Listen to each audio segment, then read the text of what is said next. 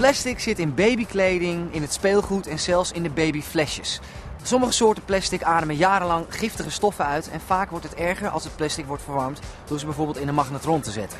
Dus, in het belang van je kinderen, zorg ervoor dat je weet of het goed plastic of giftig plastic is. Het kan nog niet overal in Nederland, maar het is wel heel erg belangrijk. Lever je plastic gescheiden in. Want als je één plastic fles recycelt, kun je een lamp van 11 watt 36 uur laten branden. Oftewel, lever je plastic gescheiden in.